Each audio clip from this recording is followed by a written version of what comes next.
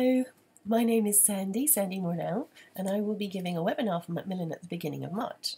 My webinar is called um, Pictures and Words and the Gaps Between, and we'll be learning about picture books.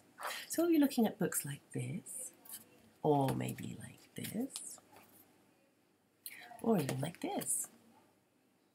And we'll be learning that these books are different to these books.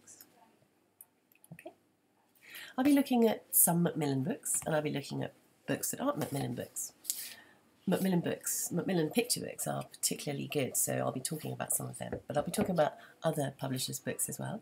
So we'll be talking about um, picture books. We'll be learning meta language, so learning how to talk about picture books. So um, this is a front cover. We'll learn about end papers.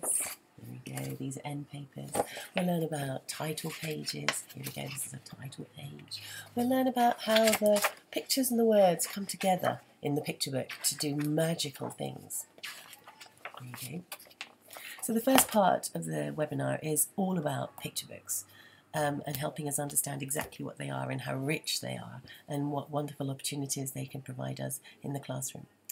And then in the second part of the webinar, we're going to be looking at how to select picture books and some of the activities that we can use them for in the classroom.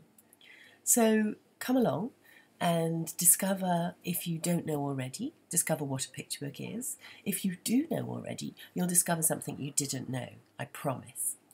So come along and um, join me to talk about picture books, and hopefully you will leave with some interesting ideas for how you can enrich your classroom and your children's learning through the inclusion of picture books.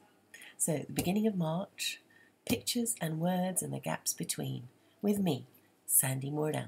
Looking forward to seeing you. Bye bye.